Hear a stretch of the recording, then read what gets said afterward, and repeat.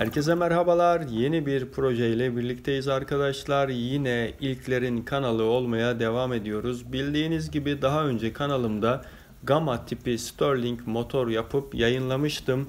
Merak eden arkadaşlar yapım linkine açıklamalar bölümünden ulaşabilirler. Gördüğünüz ise Alfa tipi Sterling motor 1816 yılında Robert Sterling tarafından icat edilen ve halen NASA tarafından Mars projesi için geliştirilmeye çalışılan harika bir motor diyebiliriz. Bu ve buna benzer çalışmaları kanalımda bulabilirsiniz. Tabi bana destek amaçlı videomu beğenirseniz like atmayı, kanalıma abone olmayı, yeni videolardan haberdar olmak için bildirimleri açmayı unutmayın. Şimdi gelin motorun çalışma prensiplerini hep birlikte görelim. Motorun yapım aşamasını A'dan Z'ye birkaç gün içerisinde kanalımda bulabilirsiniz.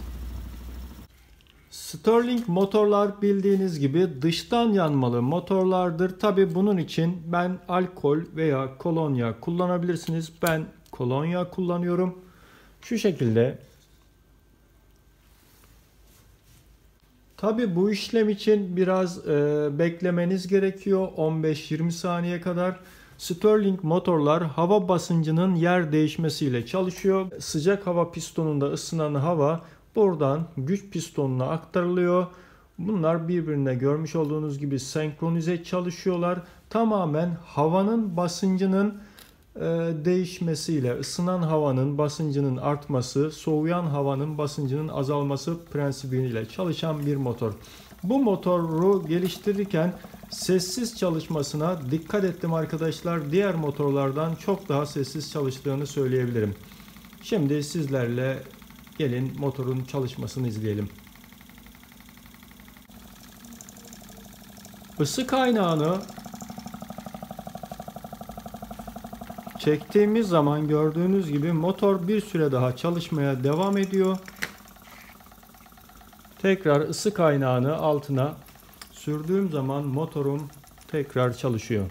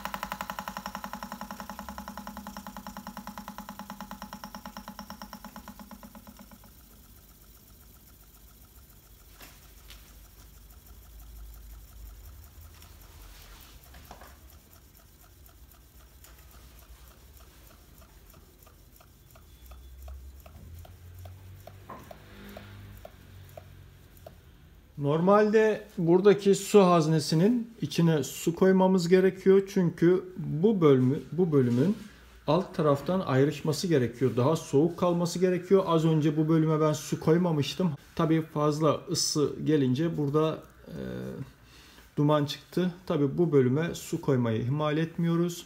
E, bu şekilde motorun devrinin ve performansının daha da artacağını söyleyebiliriz.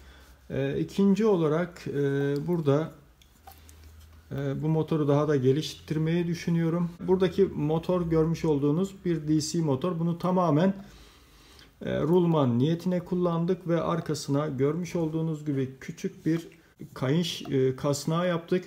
Bu motoru normal bir Sterling arabaya dönüştürmeye çalışacağım. Yani bu motor biraz daha gelişecek arkadaşlar.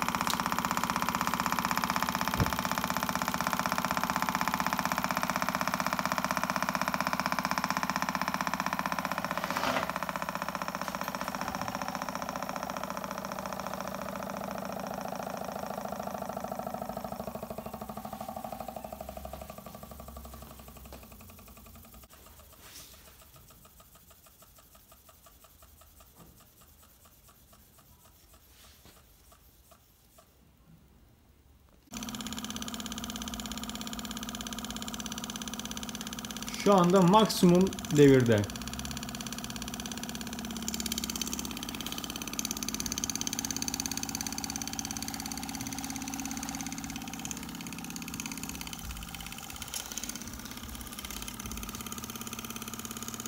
Isı kaynağını gördüğünüz gibi aldım. Motorum soğuyana kadar çalışmaya devam edecek.